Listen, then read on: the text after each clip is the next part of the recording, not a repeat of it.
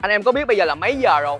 5 giờ 47 phút rồi và mình đang có mặt ở gần VNG Đây là một thứ rất là quan trọng, đó là review cho anh em. Anh em biết review gì không? Review đường đua upgrade 2023 chứ còn gì nữa.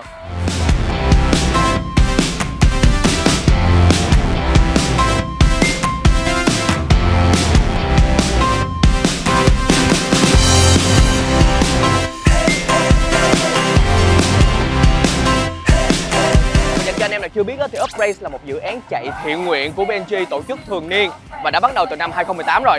Với dự án thiện nguyện này thì VNG cũng liên kết được với rất là nhiều tổ chức xã hội nè, như là Quỹ học bổng vừa A Dính hay là Rin Việt cũng như là đồng hành với rất là nhiều nhà tài trợ khác như là CIMB Bank nè, hay là Dreammaker Foundation và cùng với đó là những cái nhà tài trợ khác như là Nutifood, VNG Game, Zalo, Zalo Pay, Bitip, Reddit nói chung là rất là nhiều luôn Ok, bây giờ mọi người cũng đã vào chạy rồi thì mình cũng không nên dừng lại ở đây chứ nhỉ? Bắt đầu thôi. À, trước tiên á thì uh, mình đang đeo uh, Garmin Instinct Crossover. Đây là một chiếc đồng hồ mà mình thường dùng để chạy bộ cũng như là dùng những hoạt động ngoài trời, thể thao ngoài trời. Thì ở đây mình cũng sẽ chỉnh nó thang sàn run. Ok. Bắt đầu thôi.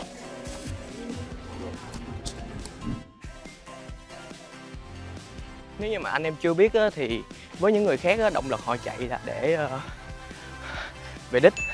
Thì ờ, cái động lực để giúp mình chạy đó chính là cameraman đang đi chung với mình. Bởi vì khi mà cameraman dí tới thì mình phải chạy. Nếu không mà chạy bộ thì, đi bộ thì nó ê chề quá. Nhưng mà không sao, nếu mà anh em có để kênh giác thì sẽ biết được là mình vừa mới chạy một buổi training rất là hạt co ở trên núi dinh. Cho nên là nhâm ba cái 10 cây này nhâm nhoi chạy tiếp.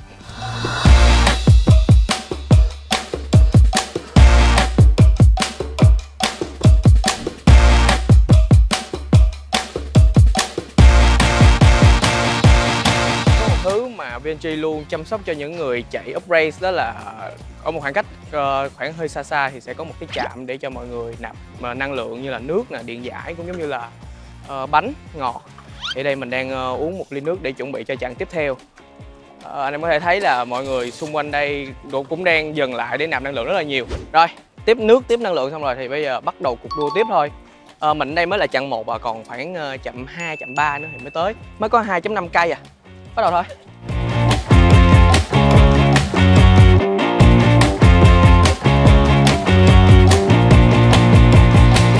Và nếu như mà anh em nào chưa biết á, thì Upgrade sẽ có hai loại chặng đua. Một là 10 km thì mình đăng ký 10 km thì mình tới đây thì mình sẽ quay đầu lại để chạy 5 km còn lại là được nửa chặng đường rồi. Còn nếu như mà ai đã đăng ký chạy 21 cây á, thì sẽ phải chạy tiếp.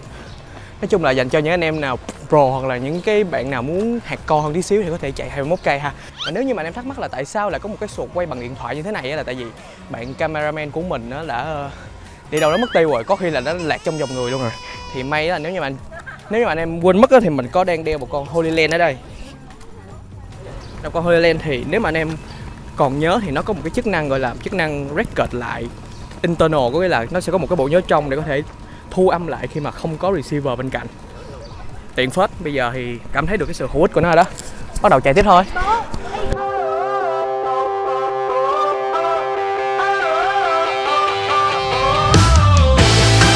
Đó, anh em thấy là cũng nhờ một chiếc đồng hồ sức khỏe như thế này uh, mình thì dùng Garmin Instinct Crossover thì anh em biết rồi. Thì cái cái mặt đồng hồ vừa rồi mình cho anh em xem cũng cũng thông báo được cho mình biết là cái nhịp tim của mình đang ở trạng thái như thế nào để mình biết mình cân chỉnh trong cái quá trình mình chạy ha.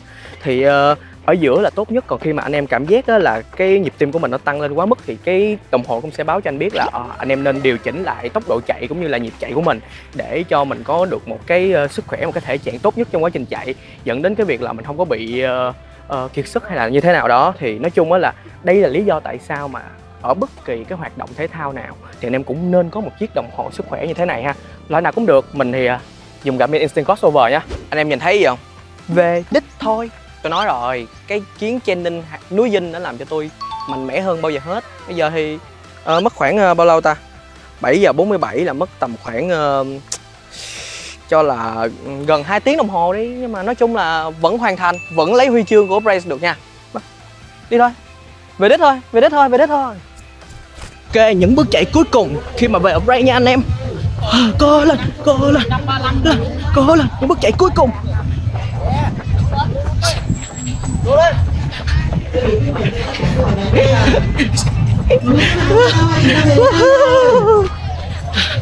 cuối cùng cũng đã về tới. Cuối cùng thì cũng đã về đích rồi và bây giờ thì mình đã nhận được huy chương của Up Race 2023 đây anh em có thể nhìn thấy. Cực kỳ đẹp luôn. Đây là những cái giống như là một cái thành tích để đánh dấu việc là anh em đã hoàn thành được cũng như là chinh phục được cái chặng đua Up Race 2023 ha. Quá tuyệt vời.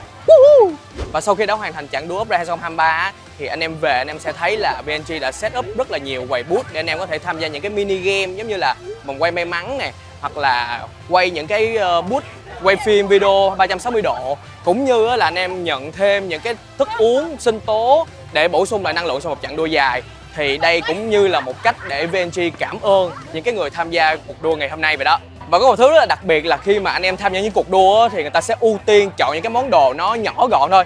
Và trùng hợp quá là hôm nay mình mang theo Final 3 Flip, một con điện thoại rất là nhỏ gọn ha, để mình có thể mang đi, nó không bị vướng víu nè. Cũng như là mình có thể cầm chiếc Final 3 Flip này quay lại những cái khoảnh khắc trên đường đi của mình luôn mình là content creator mà, cho nên là content đâu thì mình bắt ở đó. Final Bar Flip, cực kỳ tiện nha anh em. Vậy là đã kết thúc Up Race 2023 mình cũng như là team Gen Z rất là cảm ơn VNG đã cho tụi mình cơ hội được tham gia cái dự án thiện nguyện này của họ. Một phần là để nâng cao sức khỏe nè, thứ hai là cũng để mình đóng góp một cái gì đó cho xã hội ha. Vậy thì anh em thấy sao về trận đua Race 2023 ngày hôm nay, cũng như là những cái món công nghệ mà mình cầm theo? Nhớ lại comment cho tụi mình biết nha. Và đừng quên like, share và nhấn subscribe cho kênh của Z, mình là Đu Phì. Hẹn cái video tiếp theo. Bye anh em vô chụp hình tiếp.